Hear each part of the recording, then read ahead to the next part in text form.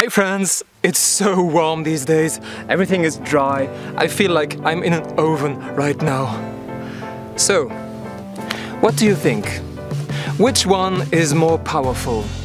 The energy from above or from below? You can drill wells for oil, but you know, it's a limited resource and, and it's very polluting.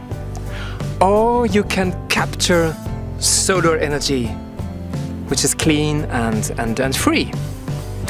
One day, you know, I read that the sun's rays falling during one year on the roads of America alone could deliver twice the energy the whole world takes from oil during one year. So, the energy from heaven is immensely more powerful than the energy from the earth.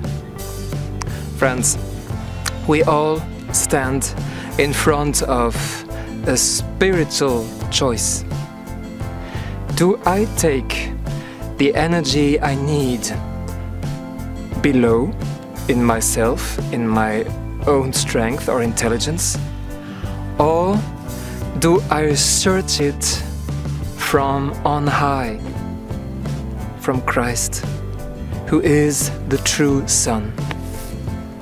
Hey, let's make this energy transition not by might, not by power, but my but by my spirit, says God in the Bible.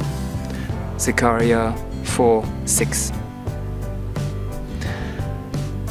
Trust in the power of the Spirit.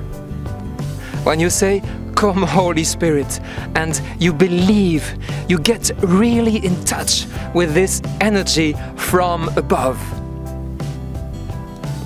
So, let's just do it.